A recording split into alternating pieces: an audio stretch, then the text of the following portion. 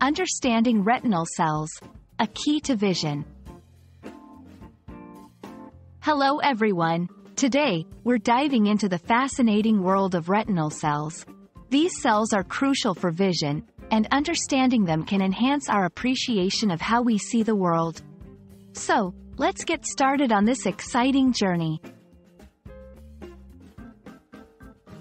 Retinal cells are specialized cells located in the retina, a thin layer at the back of the eye. They play a critical role in converting light into neural signals, which are then sent to the brain for visual recognition.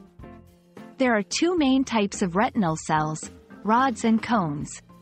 Rods are responsible for vision in low light, while cones are for color vision and detail in well-lit conditions.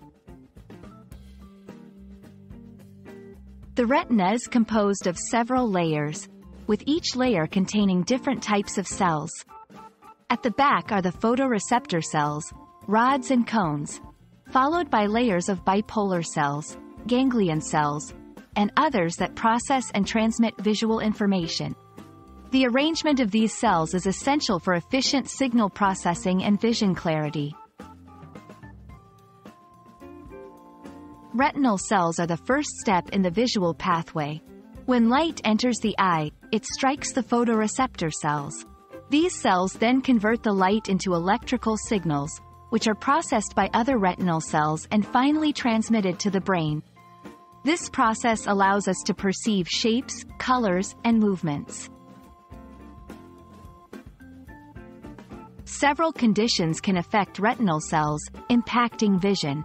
Diseases like retinitis pigmentosa affect the rods and cones, leading to vision loss. Age-related macular degeneration affects the central part of the retina, impacting detailed vision. Understanding these conditions can help in early diagnosis and treatment.